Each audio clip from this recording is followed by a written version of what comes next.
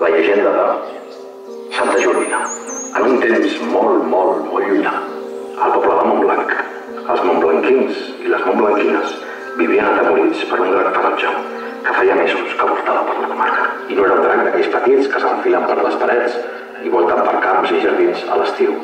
No, era el pitjor drac que us podeu imaginar. Sabia volar, nedar i caminava i corria per terra.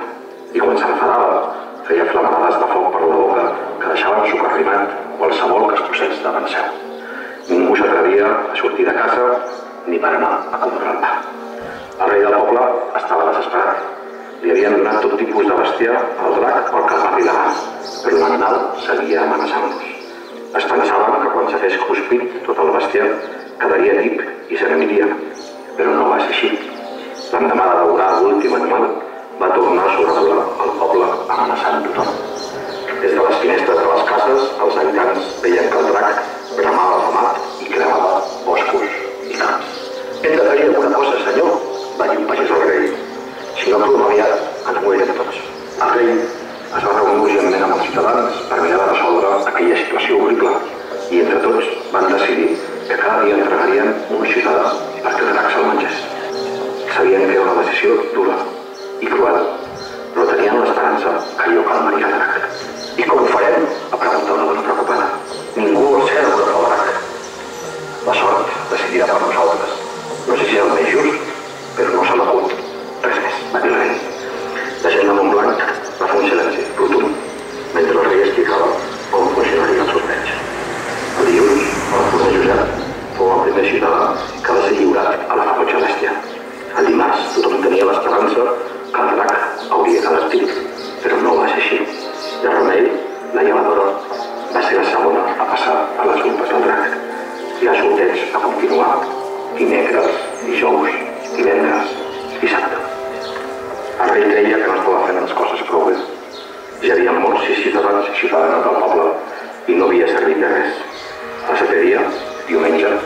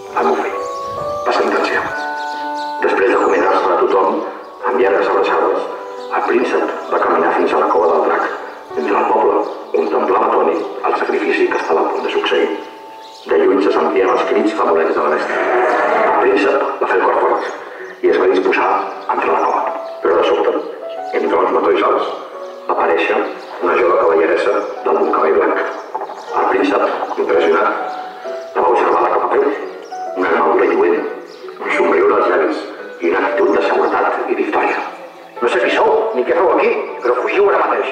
Aquí dins hi ha un drac que se'n menjarà, va dir príncep a la cavalleressa. Soc Santa Jordina i per això sóc aquí, per portar la pau al poble. Va exclamar la jove. I tan bon punt acaba de pronunciar l'última paraula. La bèstia va sortir de la cova i va atacar la traïció. La jove va prendre la llança i va lluitar contra aquell gran miserable. A cap de poca estona, la cavalleressa va enfonsar la llança al cor de la bèstia, que morir mentre li clavava una mirada desafiadora. Tant de bo haguéssiu aparegut abans, va exclamar el príncep. Aleshores, el príncep s'adonà que del garrot de sang del drac naixia un roser amb unes rosses d'un vermell preciós. La cavalleresa n'arrenca una, la més bonica de totes, i la va regalar al príncep. Tots dos van pujar al del cavall blanc i van tornar al poble, on els montblanquins i les montblanquines cridaven de joia i aplaudien amb força. Per fi, després de tant de temps, el poble havia vençut el gran enemic.